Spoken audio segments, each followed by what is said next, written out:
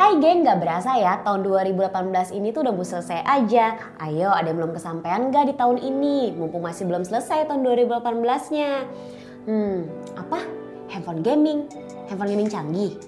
Oke deh kalau gitu, aku bakal ngasih tau ke kalian rekomendasi handphone gaming yang canggih dengan harga 3 jutaan aja.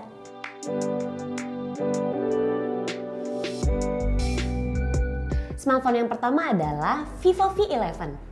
Dengan dibekali RAM sebesar 6GB dan juga prosesor MediaTek Helio P60, ini tuh pasti bikin kalian bisa bermain game HD tambah hambatan. Nah, selain itu dia juga dilengkapi dengan layar sebesar 6,3 inch dan juga rasio sebesar 19 banding 9. Untuk segi desainnya, smartphone ini tuh udah pasti nggak akan malu-maluin.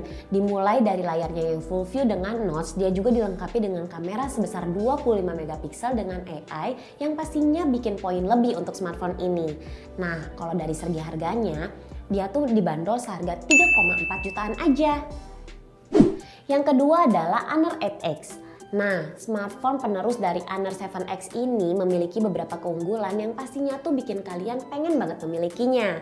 Dari mulai desain sampai performa yang ditawarkan oleh handphone ini tuh sangat menarik geng. Dimulai dari notch di bagian atas dan juga kaca yang ada di bagian belakang handphonenya ini tuh bikin desain handphone ini tuh terlihat mewah dan terlihat modern. Selain dari desainnya, handphone ini juga udah dilengkapi dengan Kirin 710 dengan pilihan RAM sebesar 4GB dan juga 6GB. Terdapat juga GPU turbo yang pastinya bisa bikin kalian main game dengan lancar dan puas. Eits, gak sampai situ. Kelebihan lainnya dari handphone ini adalah dari kameranya. Dia tuh dilengkapi dengan kamera belakang sebesar 20 megapiksel dan juga 2 megapiksel dan juga kamera depan sebesar 16 megapiksel. Jadi buat kalian yang suka fotografi dan juga selfie, ini pas banget buat kalian. Kalau dari segi harganya, handphone ini tuh dibanderol sebesar 3,5 jutaan, geng. Yang ketiga adalah Huawei Nova 3i. Smartphone dengan gradasi warna iris purple dan juga layar lebar dengan rasio 19 banding 9 berponi. Ini tuh bisa bikin kalian para pecinta gadget tuh tertarik banget sama smartphone yang satu ini. Nah, selain warnanya, materialnya juga tuh bisa bikin menarik kalian semua. Karena smartphone satu ini tuh dilengkapi dengan material Selain warna, desain material dari smartphone yang satu ini juga sangat elegan. Frame metal dan juga bodi keseluruhan yang dilapisi kaca membuat smartphone yang satu ini tuh sangat memukau, geng. Edge bukan hanya dari segi desainnya aja yang memukau, tapi dari segi performanya juga. Dia itu dilengkapi dengan Kirin 710 dan juga RAM sebesar 4GB dan internal memori sebesar 128GB yang pastinya bikin smartphone ini tuh ngebut.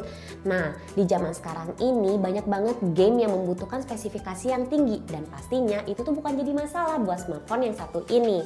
Kalau dari segi harganya, harganya itu kalian bisa dapetin dengan 3,6 jutaan aja, geng.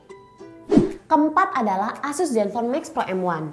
Nah yang terakhir ini tuh udah bikin para gamers heboh banget geng. Kenapa? Karena dia tuh udah dilengkapi dengan Snapdragon 636 dan juga pilihan RAM sebesar 3GB dan juga 4GB dan internal memori sebesar 32GB dan 64GB. Yang pastinya ini tuh bakalan bikin handphone kalian itu tuh nggak nge-lag.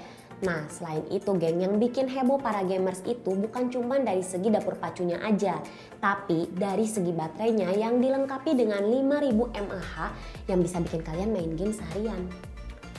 Selain dari hal-hal yang aku sebutin barusan, smartphone yang satu ini juga udah dilengkapi dengan berbagai fitur lainnya seperti fingerprint dan juga kamera depan sebesar 8 megapiksel dan juga kamera belakangnya sebesar 16 megapiksel.